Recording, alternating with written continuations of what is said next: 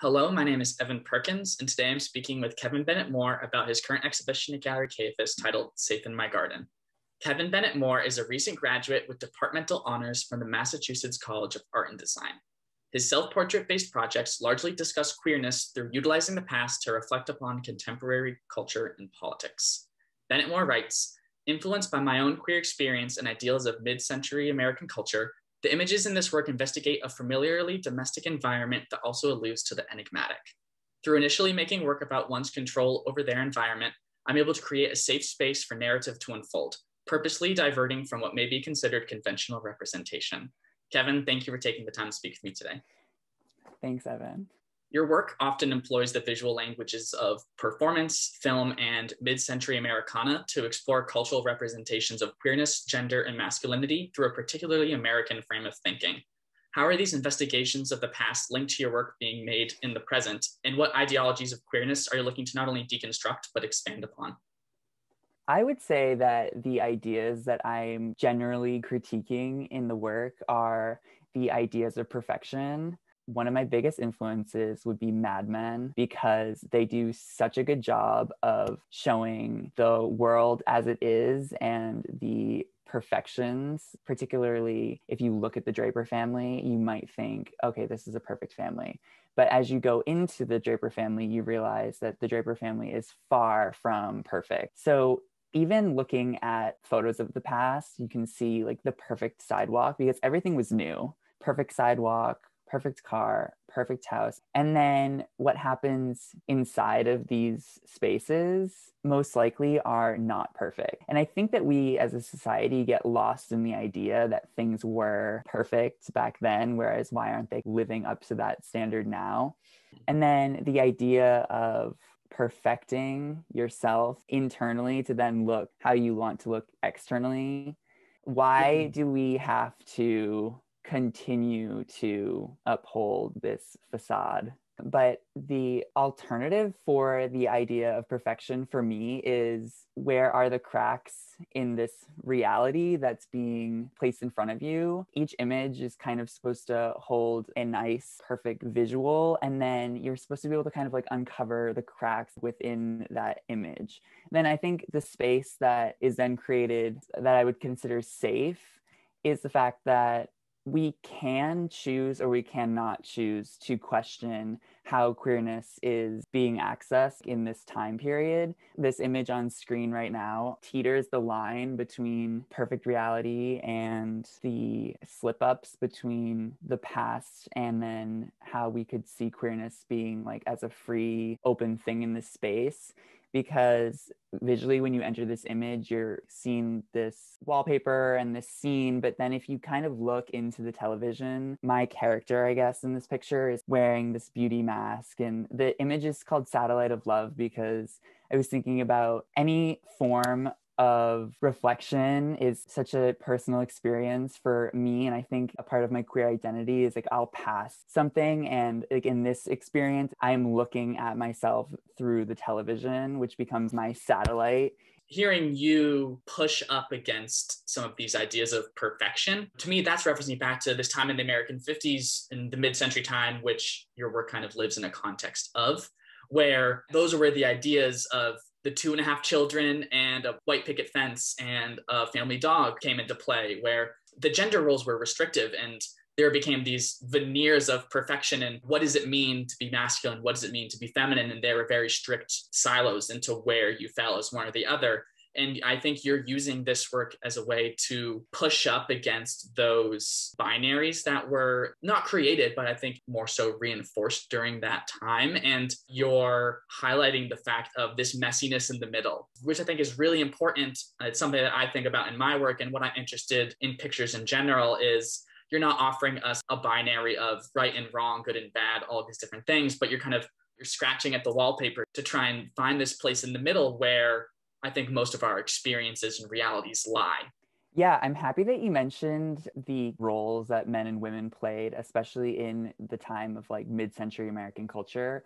But I think where the influence really comes into play is the films of the time. And I mean, the fashion of the time as well, because if you look back at what media people were consuming, it was almost as if gender played a role in a way that could never really play a role today. I would say any dance sequence with Fred Astaire would be something that is a, a huge influence because the way that the men were performing I'm not meaning to critique the femininity of these men in this time period at all. I think the representation is actually really awesome because I don't think at the time, I mean, I didn't live it, but it didn't really feel like people were critiquing that kind of energy at the time the way they would critique that energy today.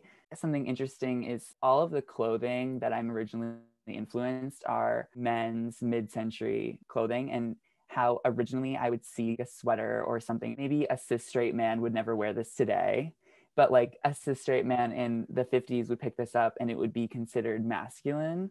So that was like a jumping off point when entering the work in this realm. Because if you look at any 1950s film, the men are often way more effeminate than men are portrayed today in film. So the the interesting conflict that I have just throughout historically and maybe even like history of fashion is the more we are able to come out and live freely, the more fragile masculinity gets.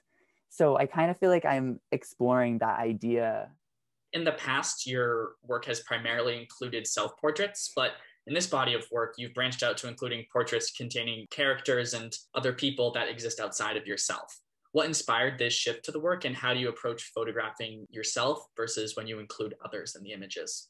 I say all the time that making work about myself, with myself, of myself is always easier than making work with other people. And I think a big push for that was to like expand on this is not only to make bigger scenes with more people in them, but to push myself to direct other people the way I can just easily direct myself and then also, it gets fun to use other people rather than yourself all the time. Through including other characters, you're able to add more complex interpersonal relationships into the work as well, which may be something that you haven't addressed in the work with just yourself. What ideas are you able to gain access to through including other people that you may not be able to have explored just through yourself? Yeah, I think it opens up a lot more because I think when I photograph myself and there's one figure in the scene, it more or less becomes about what's happening not only in the scene with that person or like internally, but what's happening beyond the image, what's happening before the image, what's happening after the image.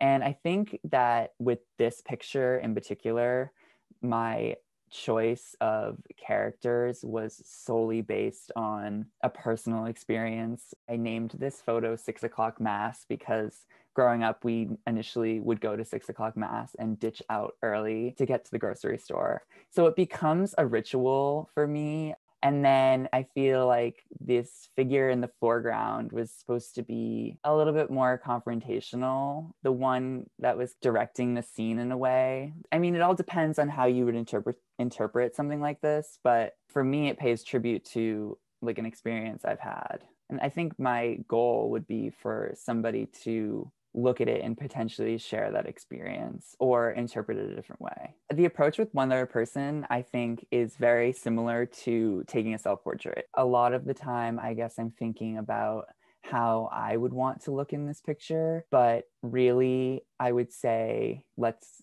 put somebody else in. And I think that casting other people can be really fun especially for this picture malcolm like said he had like this fun hair going on and i was just like let's use you like let's do a picture. It changes up the dynamic. It also changes up kind of how we look at the work because we're not just looking at maybe me interpreting other people or dressing up as other people but a whole new face. So i think in this work in particular, I shy away from showing my own face. I think the lawnmower is like the most of my face you really see in the shot. I was trying to make it not just solely about me portraying other people, but the other characters that we see are the ones we see most of their face because they're not me. I'm like introducing the fact that there are other people living in this space as well. The scenes that you create are both somehow familiar and cinematic at the same time So I'm interested in hearing about how you create the characters that exist in these environments and how film influences your work. Looking at these images, light definitely plays a role in that. So if you could also touch on that. I would say that light is the number one driver at this point behind what makes the work cinematic.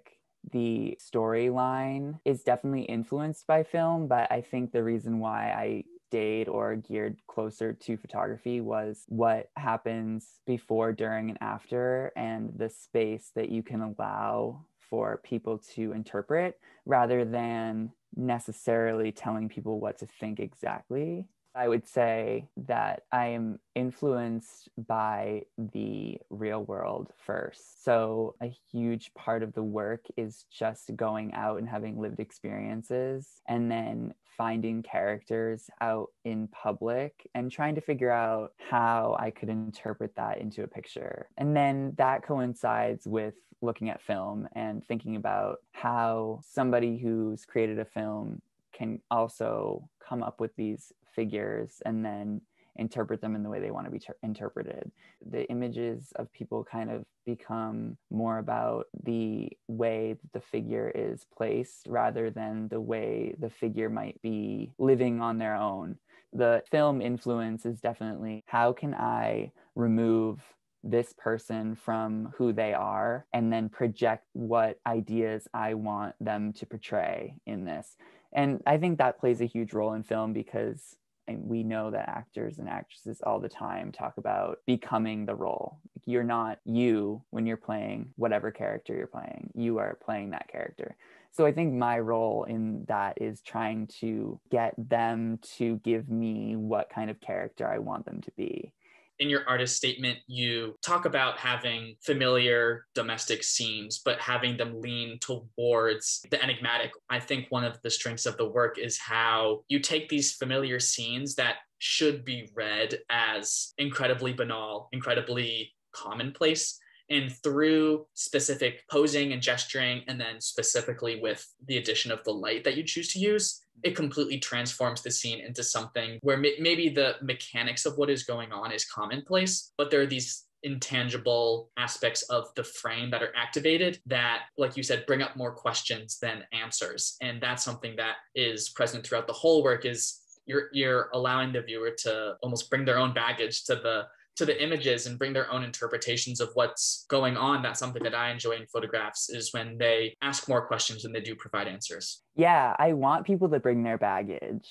I think that the lighting is something that is so fun to play with, especially in like an image like this. You can make it look like you're anywhere at any time. And that also is kind of part of cinema as well something that may be, I guess, mundane or like things that might be happening in the domestic space, it becomes more about what's happening beyond the frame the work is embraced by a backdrop of domesticity, primarily existing in the home or adjacent exteriors. There appears to be this balance between perceived safety of one's home and the drama that unfolds behind closed doors. We briefly talked about this earlier with the Satellite of Love picture and how you're interested in these ideas of perfection. How does the home play a role in this work? I think the home and the domestic space plays a huge role, especially in this particular body of work, I was definitely exploring the ideas of imperfection behind closed doors. I think we can try to fix things that may be unfixable, but we will still care for them in ways that maybe they shouldn't be cared for the idea of this picture is about the performativity behind trying in a way. I don't know if that makes sense, but this shirt is ruined but we're going to continue to hold on to the idea of things being a certain way when in reality they may not be there's a sense of continually providing love and care to something that to the world seems to be useless. That provides a tenderness to the images as well, where in some of the other images, like this one here, the interior scenes, the domestic scenes, I'm not going to say they seem a little bit sinister, but maybe they do, maybe they mm-hmm. do seem a little bit sinister. There's something looming in the pictures that is intangible but very present. And the image that we just were on contrasts that idea. Yeah, I would say that this image is probably on the more sinister side. When I was making these low light pictures, I was thinking about those really long, drawn out days, the summer. I think the whole body of work, I really wanted to feel kind of like one long space that was just continuing. Sun was setting for hours. I think this picture sits in that space for me where it doesn't have to be pretty and it's a scene that no one else could particularly see but me or whoever else may be in the house. Like I, I kind of wanted to make it about letting people in as well as keeping people out you talk about this work providing an environment of control and safety for not only the characters in the images but also the audience what are you hoping that the safety provides for those engaging with the work? I think when I talk about the safety that it provides was really about my own way of making the images.